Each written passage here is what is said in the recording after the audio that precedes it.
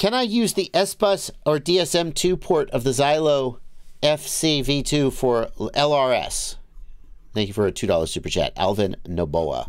Alvin Noboa, the best way to do this would be to use the DSM2 port.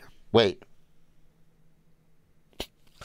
Is the DSM2 port that is that a TX or an RX? I have to be sure. I think I know, but I'm not sure.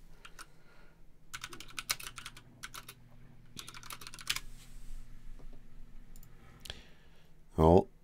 I don't know if my microphone picked that up, Blunty. Uh, there's a sump pump over on the um, near me, and whenever it's raining, every so often you'll hear the sump pump go, and I think uh, people who are listening to my stream or my video must think like somebody's like flushing a toilet. Except it goes off every like ten minutes when there's a lot of rain. It's just constantly going.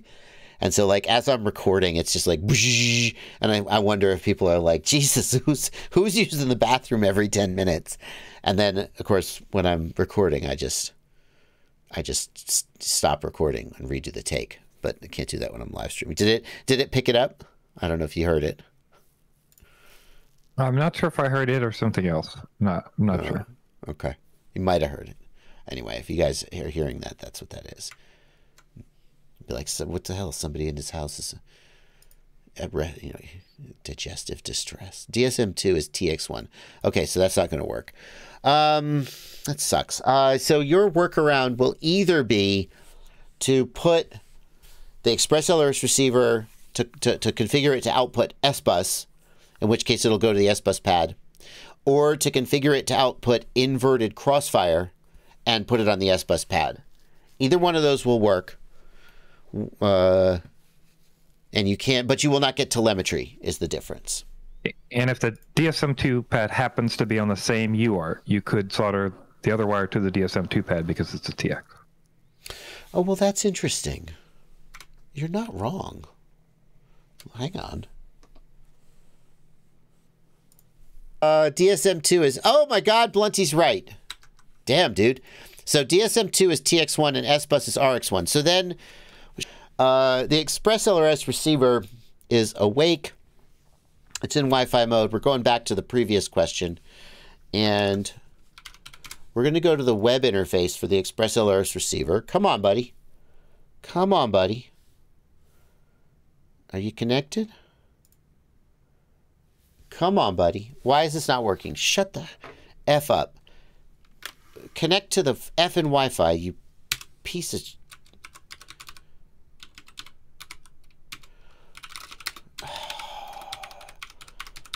Is this, what the F? Where's my Wi-Fi adapter? Let me put it closer to the F and, oh my God, this is so frustrating when this happens. No internet secured. It says it's connected.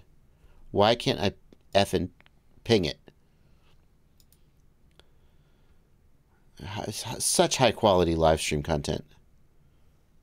Oh, oh, we're live. We're alive. There we go. Uh, so what you're going to do is you're going to go into the web UI and you're going to enable this option, invert TX pin. And this option will allow you to connect the TX wire to the S bus pad on your uh, uh, on your F4 flight controller. Okay? You will then put the RX pad. Oh my God, Blunty.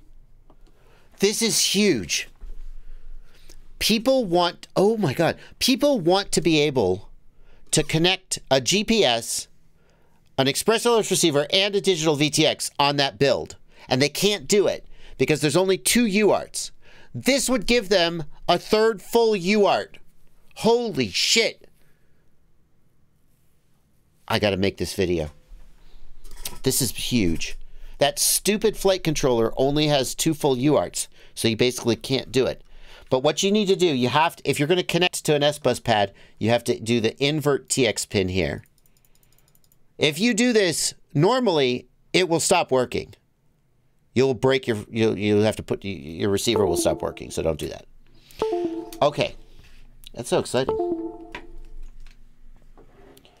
Just do it in the Lua script in 3.3. Can you do it in the Lua script in 3.3, Captain Bry? Fine. Good for you. Good for you with your 3.3.